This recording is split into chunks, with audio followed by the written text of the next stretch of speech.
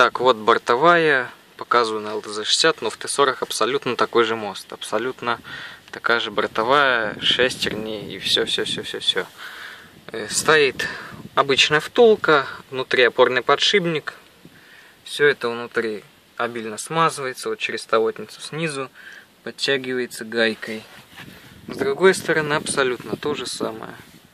Никаких пружин, разболтанностей. Насчет жесткости там хода. Ну, ребят, ну это трактор. Особенно под куном никакие пружины. У знакомого пружины, он мучается, блин, колеса в разные стороны разлазят. Так это у него еще без кун. Ну вот, собственно, все.